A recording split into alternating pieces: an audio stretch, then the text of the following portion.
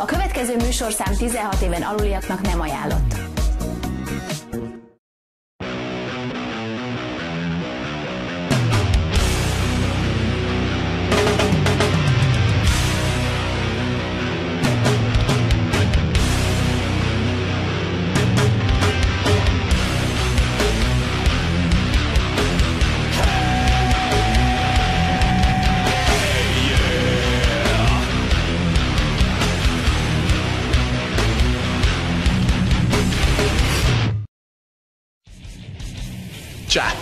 Kedd este van, 11 óra, és ez pedig itt a One Like Rock.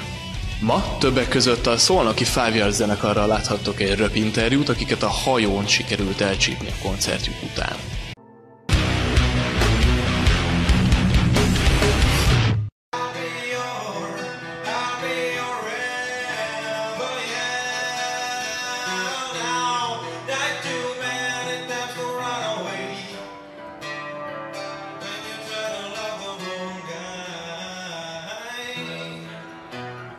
Na, szóval itt vagyunk az A38-on, már lement a buli. Hogy érzed, hogy sikerült? A buli jó sikerült, sajnos eh, az, el, az, az időjárás egy kicsiket kibabrált velünk, mert hát eléggé szeles idő van, teljesen őszies idő van.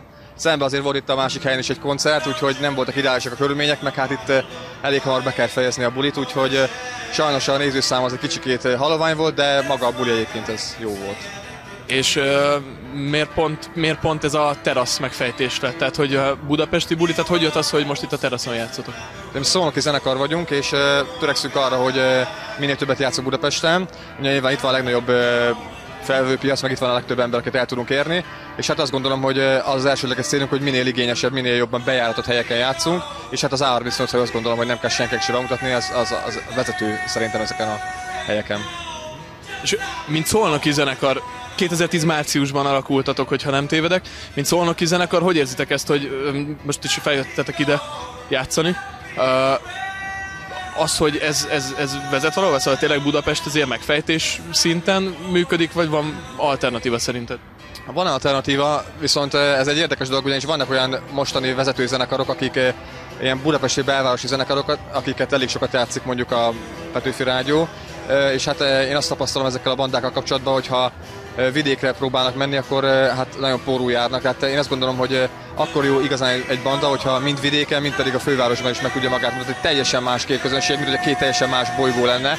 Teljesen más van igény egy vidéki nagyvárosban, ahol mondjuk nincsen egy főiskola vagy egy egyetem, tehát most nem Szegedre vagy Pécsre gondolok, ott nagyjából azért ez a budapesti dolog az elmegy, de mondjuk egy Nyíregyházán már, vagy vagy szerintem egy Veszprémben már nem biztos, hogy ugyanazzal a stílussal ki lehet állni. Úgyhogy mi arra törekszünk, hogy mind a kettőnek megfeleljünk, de hát ez egy elég nehéz küldetés. Csak azért lovaglok ezen a vidék kontra Budapest témán, mert hogy rengeteg zenekar, akik, akik sokat játszanak, meg sok embernek játszanak, pont nem budapestiek, mit tudom én, a stílustól függetlenül tankcsapda, a Vatfrutik, Kispár és a Borz, egy csomó, csomó zenekar van, akik vidékiek, és, és mégis kvázi sokkal nagyobbak, mint egy csomó másik budapesti. Hát szerintem ők kivételek igazából, meg nem tudom, hogy ezeknél a bandáknál már mennyire lehet arról beszélni, hogy vidékiek, mert hát eh, Hát szóval jól tudom, tehát a kispárga tagjai, ők, ők szerintem fenn is laktak, vagy nem tudom itt Pesten. A Vatfrutik... Ezt én sem tudom, csak úgy... Hát, nem tudom igazából, tehát ez, erre, ezzel kapcsolatban nem tudok válaszolni, de hogy értem, hogy mire varkozik a kérdés, hogy szerintem ez a vidék főváros ellentét, ez fennáll egyébként. Tehát az abszolút fennáll szerintem.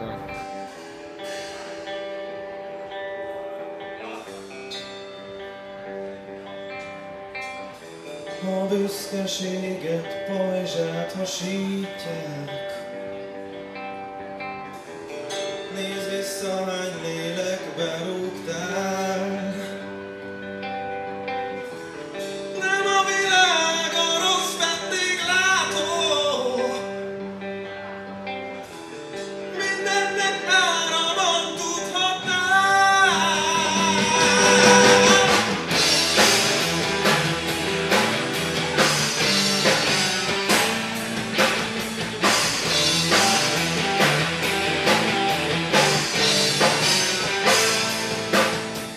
2010 márciusban alakultatok, és azóta egy négy dalos EP-tek jelent meg, ha minden igaz, és egy videóklipet forgattatok.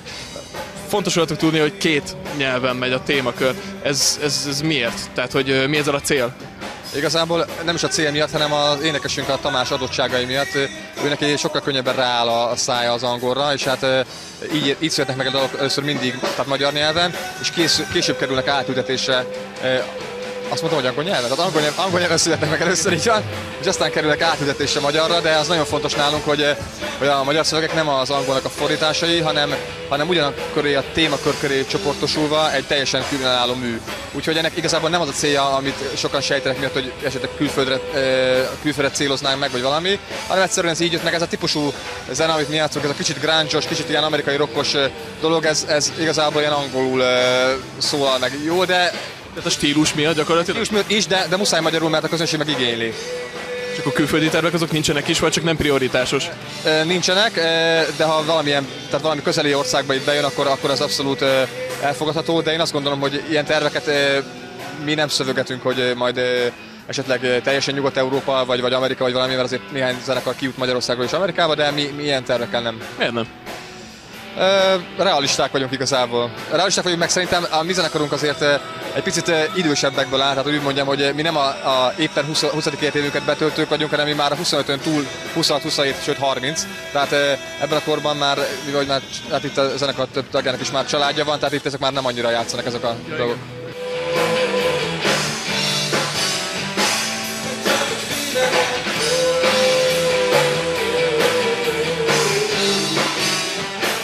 A zenekarban most két gyermek van összesen, de hál' Istennek az asszonyaink azok rendkívül rugalmasak, és tényleg innen is köszönhet nekik, mert nagy áldozat az, hogy elengednek bennünket ilyen bulikra, és tényleg nagyon-nagyon jó fejek. Most egy olyan utat próbálunk majd járni, hogy még most van néhány nyári bulink, azt lenyomjuk, és aztán utána eh, ledemózunk egy 14-15 dalt, eh, abból kiválasztjuk a legjobbakat, és akkor november magasságában fogunk a stúdióban valami a Super Size Recordsban talán ismeritek, egy elég ismert stúdióról van szó, és akkor ott eh, leselkedünk neki, és próbáljuk a jövő évet egy kicsit még aktívabban és még jobban előre tekintve abszolválni. És ö, ehhez kiadó, vagy milyen támogatás, vagy támogatás, vagy minden zsebből, tehát hogy hogy, hogy álltok ezzel? A kiadóknak manapság már e, túl sok szerepük nincs egy zenekar befutatása, vagy így mondjam, ők csak szerintem igazából már kullognak az események után. Jó, ha az embernek van egy kiadója, hogy úgy érzi, hogy tartozik valami, valahova, de igazából az internet korában már egy kiadónak e, nem zene eljuttató ereje van szerintem, hanem inkább merchandise ereje van. Tehát egy CD-nek ma már nem az az ereje, hogy arról hallgatod a zenét, hanem hogyha valaki gyűjtő és szereti kézbe fogni, akkor az van. Én számtalan zenekarnak megvásárolom a CD-jét, és mégis inkább MP3-ról hallgatom, mert sokkal egyszerűbb igazából, úgyhogy szerintem ez olyan, mint egy, mondom, mint egy póló vagy egy, vagy egy felvarró, ami volt régebben.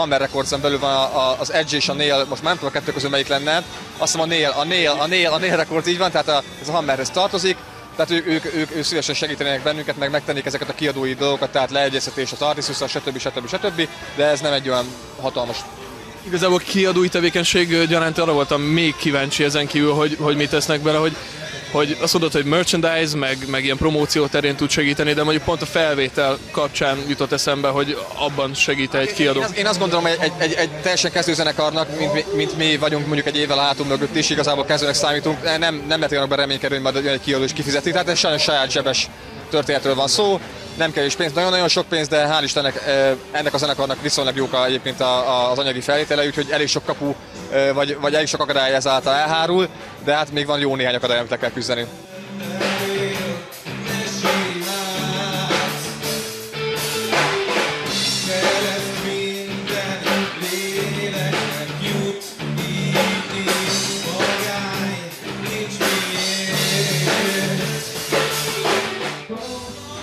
Figyú, maradt még azért pár kérdés, így a végére, meglepetés gyaránt. Hanyas a kabát? Amik rajtam volt az előbb, És mi a kotta? A kotta? Hát Schwarzenegger eléggé kottás szerintem. Amúgy a más... Ö, má, má, hát tudom, hogy van valami, amiből olvasnak a zenészek, de mi vagy nem tartozunk a zenészek közé, ez is számunkra egy teljességgel ismeretlen fogalom. Na, honnan jön a mennydörgés? Van olyan mennydörgés? Hm. Ám amikor az ördög veri a feleségét, akkor, akkor villámlik, ugye? Na, tehát akkor az ördög kezéből. És végül, de nem utolsó sorban most a kedvencem, hogyan szól az ukulele? Hát az ukuleléről nekem, a, nekem, a, ö, nekem az aluljárokba kéregető ö, ö, indiánok jutnak eszembe, és szerintem borzalmasan szól az ukulele. Uram, köszönjük szépen, és további sok sikert kívánunk. A